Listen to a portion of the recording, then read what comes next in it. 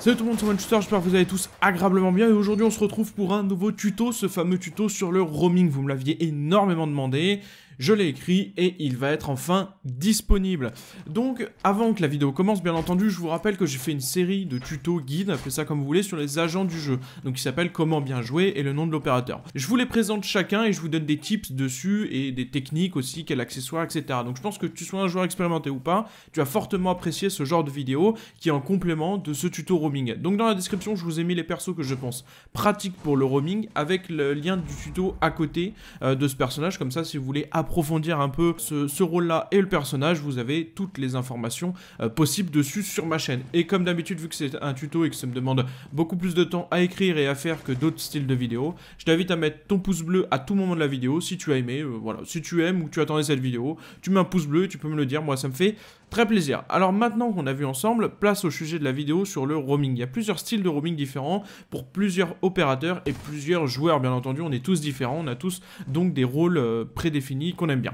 Avant, on va résumer ensemble rapidement, parce que vous me l'avez pas mal demandé, ce qu'est le roaming. Donc moi, je dirais, ma définition à moi, ça serait le principe de défendre en dehors de l'objectif. Je pense qu'on peut le résumer aussi simplement que ça, tout le monde sera à peu près unanime sur cette définition, mais attention, définition simple ne veut pas dire chose facile, loin de là, croyez-moi. Pour moi, à travers cette vidéo, vous m'avez vraiment demandé des, conseils et comprendre comment est le roaming. Donc pour moi, comme j'ai toujours dit en vidéo, il y a trois types de roaming et donc de roamers différents. Premièrement, le roamer brut, celui qu'on va appeler vulgairement le joueur code. Celui-là, on l'a tous déjà vu et on s'est déjà tous essayé à cette position. Deuxièmement, le roamer proxy BP ou le roamer proche de l'objectif. Et troisièmement, le checkpoint. Ça, c'est une variante un peu, euh, c'est une variante du roaming qui va, être, qui va consister à tenir une pièce ou un point stratégique de l'objectif, enfin à l'extérieur de l'objectif, mais sur la map, qui est tout aussi important pour justement gagner le rune et potentiellement gagner la partie. Donc pas de panique, on va approfondir chacun des rôles en détail, et donc on va commencer logiquement par le roamer brut. C'est souvent celui que les gens ont en tête quand ils pensent au roaming, celui qui a pour euh, but de sortir de l'objectif et de faire un maximum de dégâts dans les lignes ennemies. Alors, un bon shoot déjà est fortement conseillé pour jouer à ce poste, il va devoir casser des culs et souvent le cerveau débranché puisqu'il n'a pas peur d'aller au contact et donc au duel. S'il dispose de game sense, c'est mieux, mais généralement les joueurs qui ont pas mal de game sense en roaming sont dans une autre catégorie qu'on va voir après.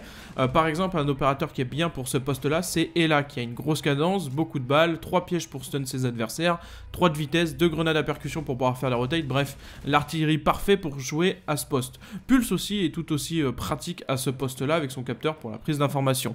Donc si vous jouez ce poste, avant de mourir, il est préférable généralement de tuer au moins deux personnes si possible pour dire que son travail est bien fait. Ou sinon, faut tuer un personnage comme Ibana ou Termite, ou les deux en même temps, c'est encore mieux, qui sont les personnages les plus importants à focus, mais qui sont souvent aussi plus durs à tuer puisque leur compétence est extrêmement importante pour les attaquants vu qu'il permet de détruire des murs renforcés ou des trappes, qui va être beaucoup plus facile pour gagner le Et en deuxième position, moi j'aurais mis Ying parce qu'on va pas se mentir, les amis, les flashs de Ying c'est quand même casse-bonbon. Euh, donc clairement, oui, déjà t'as pas entendu, t'as plus entendu cette expression depuis 1940, mais c'est surtout qu'elle est casse-couille, on va pas se mentir. Et sortir une Ying pour vos alliés, c'est clairement agréable. Donc l'autre avantage d'avoir ce genre de roamer, c'est que les gens vont utiliser leurs compétences de l'opérateur et leurs accessoires sur lui, donc ça en fait beaucoup moins sur objectif l'utilité d'avoir des roamers, ce qui est très pratique pour les gens qui vont jouer sur le BP, donc sur l'objectif. Donc celui-là, on peut penser que c'est un rôle assez facile à faire, puisque quand on l'explique, il a l'air facile. Mais plus vous allez monter dans les rangs, plus vous allez vous approcher des, bons joueurs, plus ça va être dur de roamer parce que les gens vont savoir comment chasser le roamer. Donc je vous souhaite pas mal de courage, clairement, pour jouer ce rôle. Il est assez facile, comme je l'ai dit, hein, l'explication, euh, tient, sur une feuille, mais c'est euh, l'entraîner qui va être beaucoup plus dur et forcément nécessiter d'avoir un très bon shoot, donc je vous souhaite euh, bon courage à ceux qui vont opter pour ce choix-là. Deuxièmement, le roamer proxy BP, qui est je pense mon rôle préféré en défense. Il va avoir pour but de faire le pivot entre aider l'objectif si besoin ou aider le roamer brut, donc le, premier, le roamer première catégorie, et donc lui aussi de faire des dégâts dans les lignes ennemies mais différemment. Il va pouvoir tenir une pièce si besoin, se faire oublier, faire un back, donc prendre l'ennemi à revers. Il va se trouver plus libre dans ses mouvements, mais à l'inverse, il va nécessiter, je trouve, beaucoup plus de game sense que la première catégorie, car il va falloir prévoir les déplacements sur les maps, les siens et ceux des adversaires, pour pourquoi pas devoir casser des fenêtres pour créer des rotates, casser des murs si besoin.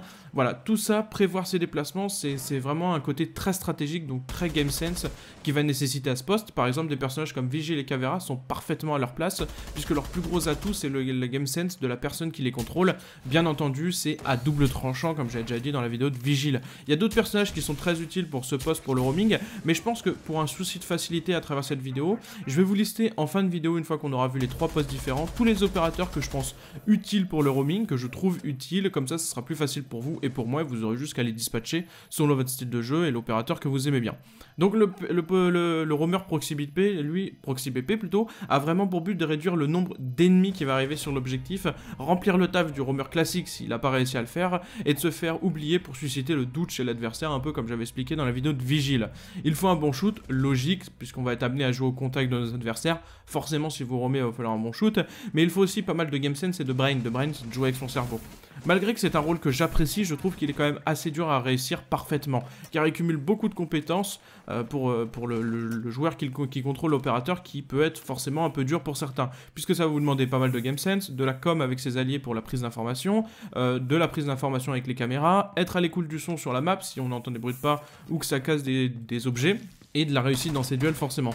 Donc tout ça, ça rend, euh, ça rend très complexe la chose et en même temps très gratifiant quand on la réussi, je trouve, puisque forcément euh, c'est dur de faire plein de choses très bien en même temps. Donc votre plus grand atout dans ce poste-là, c'est le temps. Oubliez pas que quand on joue un round, on a 3 minutes et souvent les caméras, les caméras je les vois trop souvent sous-exploitées en ranked, elles sont quand même très pratiques pour la prise d'informations. Bon, au-delà de ça, il faut du game sense, j'arrête pas de le répéter depuis quelques minutes, et de la connaissance des maps des opérateurs, car oui, il est nécessaire de bien connaître son adversaire pour le vaincre c'est un proverbe de guerre de je ne sais plus qui, mais c'est un proverbe qui résume parfaitement ce rôle-là, puisque ça vous demander pas mal d'intelligence de jeu, et donc de stratégie, pour preuve on utilise même des proverbes militaires. Et le troisième poste en roaming, que vous m'aviez beaucoup posé de questions durant la vidéo sur Lésion, et je vous avais dit que cette vidéo viendrait compléter la vidéo sur Lésion, le fameux roaming type checkpoint, comme j'avais dit dans ma vidéo. Alors, c'est un rôle que certains ne pensent pas forcément à faire en ranked, et pourtant en e-sport, vous le voyez très très souvent, voire même tout le temps.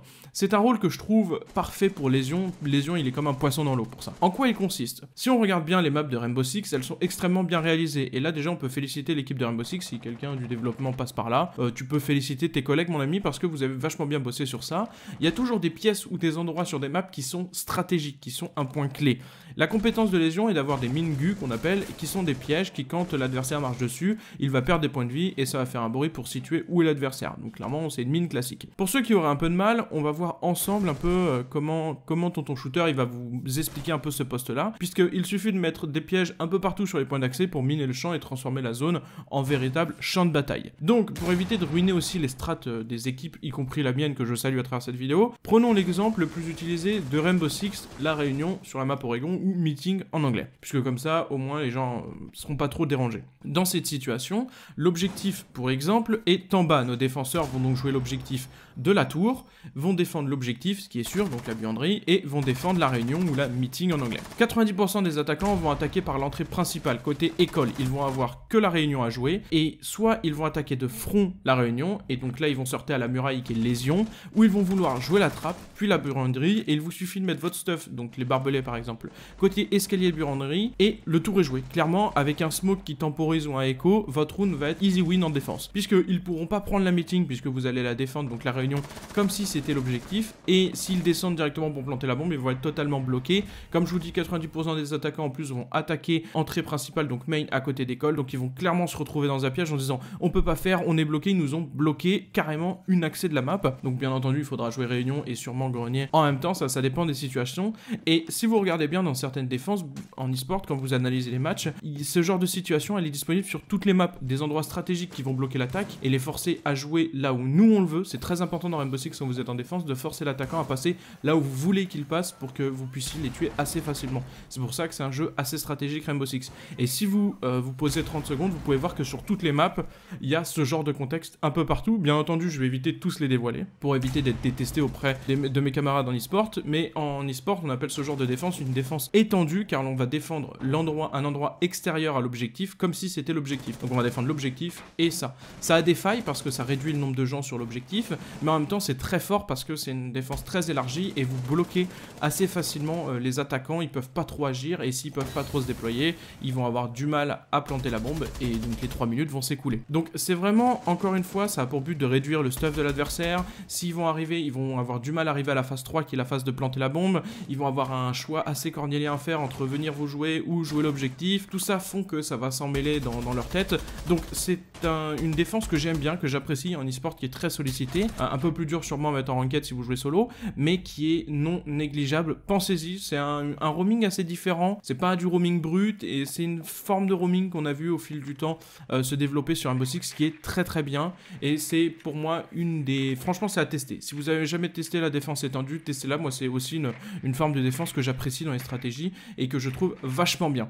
Donc comme je vous ai dit précédemment, là on a vu les trois types de roaming différents que, je vous avais listés. Là je vais vous lister les opérateurs que je juge bons pour le roaming. Bien entendu selon les postes c'est différent. Donc non, par pitié, on ne va pas mettre de dock en roaming et me sortez pas que c'est une bonne idée parce que juste un 3 d'armure, donc un 1 de vitesse, le bruit qu'il fait, l'attaquant, si c'est une hache qui va devoir chasser le roamer, va dire attends mon coco, tu viens vraiment roamer avec un dock ou un rook là? C'est vraiment la meilleure idée que tu eu. Donc non, clairement, ça c'est pas possible. Je vais vous lister les persos bien entendu que je conseille pour le roaming. Après à vous de les mettre dans la catégorie 1, 2 ou 3 comme on a vu juste avant, donc le roaming brut, le roaming proxy BP ou le roaming type checkpoint, donc défense étendue. Ça peut varier selon euh, les, les opérations selon aussi votre style de jeu, la vitesse des opérateurs pour revenir à l'objectif, où est-ce que vont être les rotates sur la map, bref, tout ça varie, c'est vraiment en perpétuelle évolution, mais moi là je vous ai fait une liste assez globale de tous les persos que je juge bons pour le roaming. Donc premièrement, Ella, Pulse, bon là jusqu'à la logique, Vigile, Cavera, Valkyrie, ne pas sous-estimer la puissance des caméras dans Rainbow Six, clairement, comme je vous avais dit juste avant, la prise d'information est très très important, surtout si vous faites du roaming proxy BP. Jagger, puisque c'est un 3 de vitesse avec une arme qui fait très très mal. Jagger et Bandit aussi, parce que pareil, 3 de vitesse avec une arme qui fait très très mal.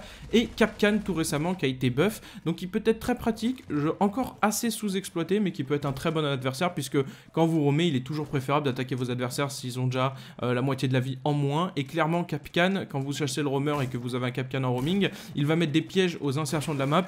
Et moi, le premier, ça m'est déjà arrivé d'en prendre. Et ça fait clairement chier d'aller chasser le roamer quand on a déjà la moitié de notre vie enlevée, sans même avoir tiré une seule balle. Donc, comme vous pouvez le voir, c'est souvent des persos qui sont rapides. Donc, les 3 de vitesse sont fortement conseillés euh, pour la rapidité d'exécution. Les 2-2 aussi peuvent être envisagés. Mais principalement, il faut de l'agressivité pour le roaming. C'est l'agressivité qui prime, d'où le fait qu'on opte clairement pour des persos assez rapides avec du stuff euh, très pratique. Donc, vous pouvez mettre un peu les opérateurs dans n'importe quelle chance, euh, dans n'importe quelle catégorie, pardon. Optez quand même pour des opérateurs avec des explosifs pour pouvoir faire des rotates en cas d'agression, c'est quand même très important. Ou sinon, il vous faudra anticiper durant votre round de préparation et dire ok, je vais casser telle fenêtre parce que par là je peux m'escape, par là je peux m'escape. Il y aura sûrement une vidéo rotate parce que vous me l'avez beaucoup demandé dans une des vidéos précédentes qui était celle de Vigile. Donc je vous ferai sûrement une vidéo euh, rotate euh, assez, assez connue de pas mal de joueurs et pourquoi pas un peu plus exotique comme vous l'avez demandé. Bien entendu, ce qui prime toujours, c'est votre game sense. Je le rappellerai jamais assez, mais vous pouvez avoir le meilleur shoot du monde. Si vous êtes bête comme une boîte à chaussures, cela ne fonctionnera pas. Donc pensez à travailler votre game sense. Votre game sense, vous le travaillez en jouant. Et puis au pire, j'en ai fait une vidéo directement sur le sujet, donc je t'invite à aller le voir. J'espère que cette vidéo t'a plu. Moi, j'ai été très heureux de la faire, celle-là, parce que vous me l'avez beaucoup demandé. J'espère qu'elle vous plaira autant que moi je l'ai écrite. Comme d'hab, un petit pouce bleu euh, si tu as aimé, ou sinon tu peux mettre un pouce rouge si t'as pas aimé. Donne tes conseils toi aussi en commentaire pour les nouveaux joueurs, ou même pour moi, ça me ferait très plaisir. Voilà, on débat. Euh, comme d'habitude sur ma chaîne, vous commencez à avoir l'habitude. T'abonner si c'est pas déjà fait. Moi sur ce, je vais te dire à très vite pour de nouvelles vidéos. Peace, ragez pas trop. À la prochaine et bisous bisous. Je vous aime.